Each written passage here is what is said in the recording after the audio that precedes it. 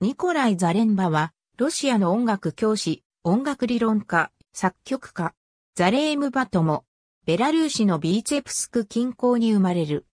ベルリンでアドルフ・ベルンハルト・マルクスに音楽理論を学び、サンクトペテルブルク大学を経て、1854年にサンクトペテルブルクのルーテル教会合唱団指揮者となる。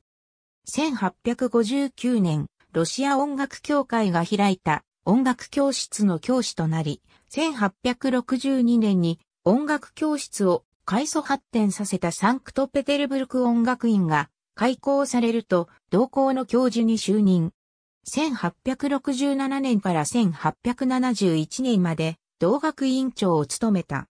音楽教室時代の教え子に作曲家のピョートル・チャイコフスキーがいるほか、サンクトペテルブルク音楽院では指揮者、ピアニストのワシーリー・サホーノフ、指揮者のイッポリとアリターに、音楽出版家、音楽著実家のワシーリー・ベッセリラを教えた。ザレンバは、ロシア音楽協会とサンクトペテルブルク音楽院を創立したアントン・ルビンシュテインを取り巻く支持者の一人であり、アレクサンドル・ファミンツィンやゲルマン・ラ・ローシラと並んで、ロシア音楽のアカデミズムと保守的潮流を代表する存在だった。このため、ミリー・バラキレフが主導するロシア国民学派と対立し、力強い一団のメンバーであるモデスト・ムソルグスキーは、風刺歌曲、ラヨークにおいて、ザレンバの保守性を、ヘンデルのオラトリを、マカベウスのユダから、ミオ、勇者はカイルの旋律を引用してひねくっている。1867年に、ルビンシュテインがロシアを去った後、ザレンバがサンクトペテルブルク音楽院の院長となる。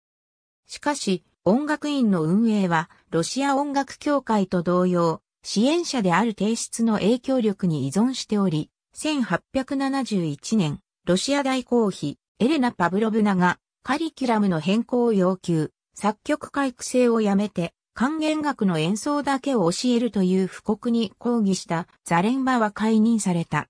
彼の後任には、ミハイル・ワザンチェフスキーが任命された。